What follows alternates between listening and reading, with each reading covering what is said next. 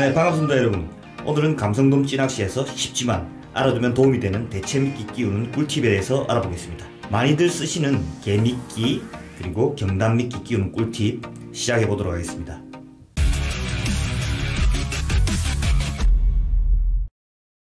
네 먼저 살아있는 개미끼입니다. 음, 살아있네. 네? 살아있죠? 이 개미끼는 쥐치나 보고에게는 매우 취약합니다 왜냐하면 이렇게 막 다리를 뜯어먹기도 하고 뜯어먹을 때가 많죠. 하지만 정갱이, 고등어, 망상어 같은 중상층에 있는 어종애들에게 매우 효과적인 미끼입니다.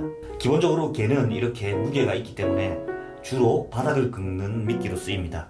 낚시터 주위에서 채취가 일단 가능하다는 장점이 있고요. 조금 전 말씀드렸다시피 무게 때문에 크기는 몸통 두께가 새끼 손톱 인도라고 생각을 하시면 됩니다. 무게적으로나 크기적으로 만만하다 이렇게 볼 수가 있습니다. 물론 더 크더라도 상관은 없습니다. 크기에 따라서 끼우는 방법이 상이한데 첫 번째 방법부터 배 아래에서 찌르는 방법을 보여드릴게요. 개를 이렇게 먼저 잡고요. 지금 아 네 좀 잡숴주세요 하면 손을 들고 난리죠. 춤을 추고 있습니다. 배 아래 부분입니다. 배 아래 부분을 콕 찔러서 등 쪽으로 나오게 하는 방법입니다. 자, 이게 살짝 나와도 되고 안 나와도 되지만 조금 나오는 게 좋습니다. 자 이렇게 하시면 자 이렇게 등 뒤로 이렇게 나오게 됩니다. 바늘 촉이 나왔죠. 물속에 들어가 있는 경우에는 이렇게 보일 겁니다. 아마. 자 그렇죠. 이 방법의 특징은 개가 오랫동안 살아있기 때문에 물속에서 움직임이 좀 더 좋습니다. 그리고 적극적인 잔입질을 유도하기가 좋습니다. 좀 오랫동안 살아있기 때문에 적극적인 입질을 유도합니다. 단점이라면 반대로 이렇게 바늘에 찔려있기 때문에 좌우로는 매우 취약합니다. 이렇게 달려있는데 여기 다리라든지 몸통이 이렇게 찔려서 씹혀 나간다든지 뜯겨 나갈 확률이 있습니다. 좌우로는 취약하다는 단점이 있기 때문에 미끼 강탈을 당하는 경우가 있습니다. 바늘은 개미끼에 맞는 크기 선택을 해주시는 게 가장 좋습니다. 통상적으로 3호가 가장 적당합니다. 이렇게 끼우는 방법은요.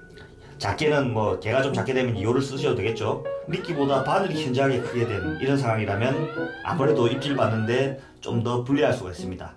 그렇기 때문에 바늘과 미끼의 크기는 어, 적당히 미끼가 조금 더 크게 보일 수 있도록 바늘보다는 미끼가 좀 더 커야 고기들이 먹이로 좀 인식하는데 쉽지 않을까라는 생각을 해봅니다. 이렇게 끼우는 방법은 미끼가 좀더 바늘보다 커야 된다. 이렇게 하시는 걸 추천드립니다. 두 번째는 다리 사이에 미끼를 끼우는 방법입니다.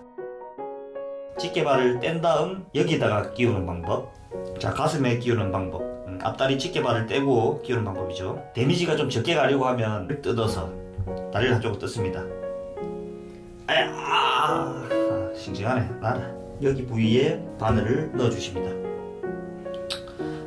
여러분들을 위해서 희생하는 개미끼이기 때문에 조금 잔인하더라도 이해해 주시기 부탁드릴게요 넣어서 바늘 끝이 빠져나와도 되고 또는 이렇게 살짝 숨어 있어도 상관이 없습니다.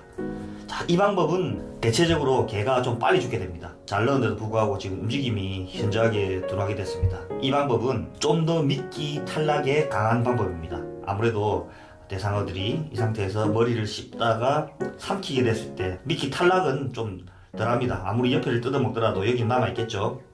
자 이런 방법입니다. 상대적으로 개는 빨리 죽게 되지만 미끼 탈락에는 상당히 강한 방법입니다. 바늘의 크기는 대체적으로 4호 이상의 큰 것을 쓰는 편입니다. 그 이유는 개미끼로 감성돔 낚시는 중상층에 있는 망상어, 고등어, 정갱이 등에게 매우 효과적입니다. 그리고 대상어가 실제로 물속에서 볼 수 있는 친숙한 미끼이기 때문에 의외로 매우 강력한 입질 효과를 받을 확률이 높습니다. 감성돔의 이빨은 보시는 것처럼 딱딱한 미끼도 씹어먹기 좋도록 돌기 같은 어금니가 매우 발달되어 있고 뜯어먹기 좋도록 앞니도 이렇게 발달되어 있는 어종입니다. 개미끼같이 딱딱한 미끼들은 씹어먹기 때문에 섣불리 챔질을 하게 되면 돌기가 있는 이 입 천장 쪽에 바늘이 걸리게 됩니다. 이렇게 되면 미끼가 빠져버리는 경우가 허다하기 때문에 입질이 예민한 경우에는 찌가 빠지고 원줄을 당기는 느낌을 받으신 후 챔질을 하시는 걸 권해드립니다. 다음은 경단미끼 보시도록 하시죠. 네 의리가 뭔지 아나?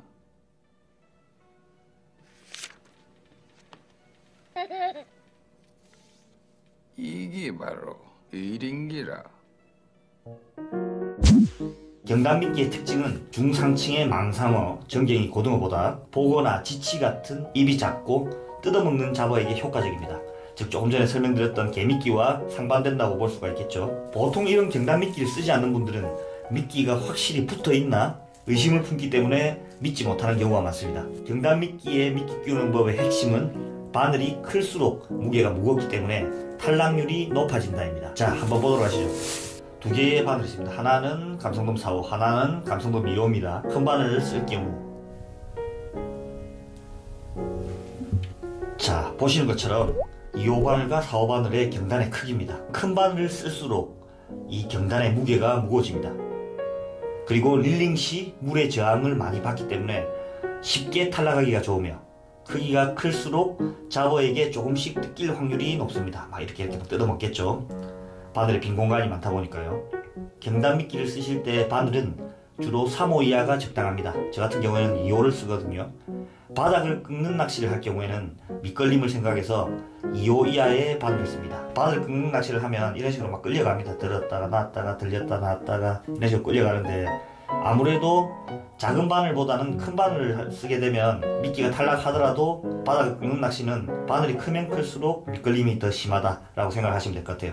그래서 보통 3호, 2호, 적게는 1호까지 쓰시는 분들도 계십니다. 이 경단 미끼는 흡입으로 삼키게 만든다 라고 생각하시면 됩니다. 간혹 큰 미끼가 눈에 잘 보인다 이렇게 생각하셔서 4, 5바늘 이상의 5바늘 같은 큰 바늘로 찌낚시를 하시는 분들 계신데 저는 추천드리지 않습니다. 바늘에 붙이는 방법 자 보시는 것처럼 둥근 원추 모양으로 바늘을 감추게 만드는 것이 기본입니다.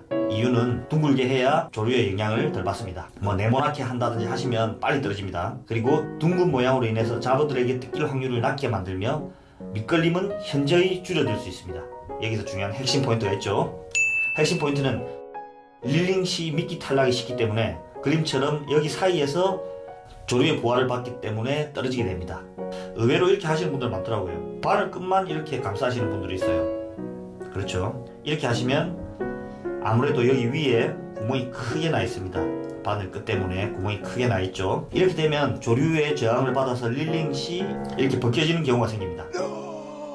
최대한 목줄까지 감싸서 조류 부하를 적게 만드는 게 필수입니다. 목줄 위까지. 바늘은 웬만하면 안 보이시는 게 좋아요. 그래야 밑걸림이 좀 덜합니다. 목줄까지 해주시면 어, 바늘의 두께보다 목줄 두께가 얇기 때문에 이렇게 해야 최대한 물의 저항을 피할 수가 있습니다. 물론 100% 피할 수는 없겠지만 이렇게 해야지 떨어질 확률이 낮게 됩니다. 어, 입질 유형은 주로 1회 이상 예신이 잠깐 온 후에 감성돔이 삼키면서 시원하게 오기 때문에 찌가 움직이고 한 템포 내려갈 때 그때 챔질하는 게 좋습니다. 찌가 내려간 후에 다시 떠오르거나 다시 입질이 오지 않는 경우에는 과감히 미끼가 탈락했다 생각하시고 달아주는 게 좋습니다. 네 여러분들 별거 아니지만 실전 낚시에서 꼭 필요한 꿀팁 침대만 과학이 아닙니다. 낚시도 과학입니다. 여러분의 낚시를 응원하겠습니다. 감사합니다.